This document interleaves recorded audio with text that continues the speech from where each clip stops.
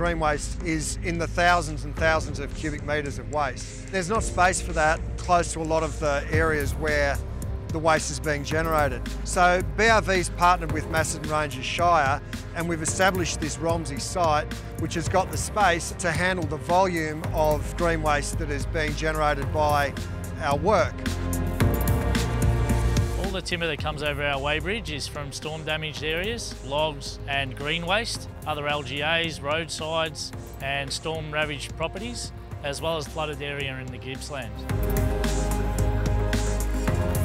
Just a hive of activity. It's keeping jobs local and they're turning all of the timber and green waste into multiple usable products. It's all being used, nothing's going to waste and then it's all being sent back into communities, um, which is just a fantastic initiative. Johns Lyng Group has partnered up with Bushfire Recovery Victoria as the principal contractor. We can't do all this work ourselves. So we've got a whole lot of highly skilled consulting arborists who are helping us with assessments. We've got hazardous material specialists who are also on the assessment teams. We've got people working through our subcontracting team to get this work done as quickly as possible, as safely as possible and really as efficiently as possible to help impacted people get their lives back on track. We've got two sites, one at Yunar South and this one here at Romsey, and they're both processing green waste and they're both really central to the success of the cleanup program. You can have one of these really massive trees that have come that's come down and then it's been picked up and cleaned up by our partners Johns Lyng Group and brought here and then processed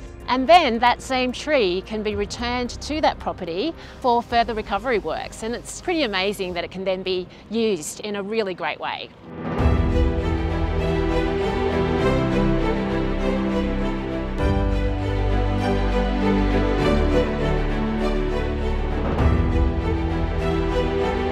They'll get sort of weedy and algae and stuff like that will grow on them. That'll be great.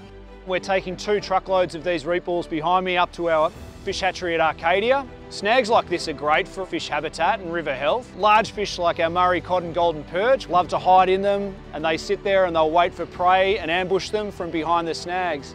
Smaller fish also hiding away from the larger predators, so it creates a really valuable asset for our fish out lagoon at Arcadia. Whether it's being used for mulch or firewood or fence posts, it's just fantastic to see that all of the timber is being well utilised. This is our weighbridge, it's 36 metres long. We use this to assess how much tonnage has it come from each property and report that back to BRV so that they can assess how much damage there was within the state. They empty into our processing area, the timber's then sorted and graded and then either milled or turned into mulch. This station here, we're putting points on the stakes for other LGAs to use with their tree planting programs. The offcuts from the stakes are then placed into bags for smoking chips.